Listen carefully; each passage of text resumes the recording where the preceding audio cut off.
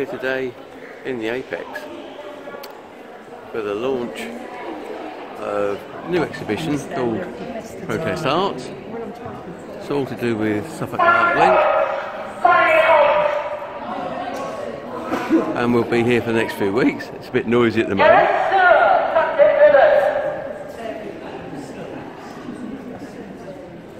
And they've got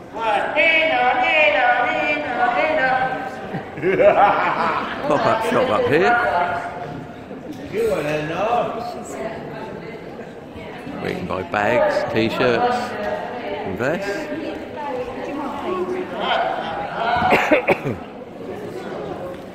Various pieces of art all around the walls.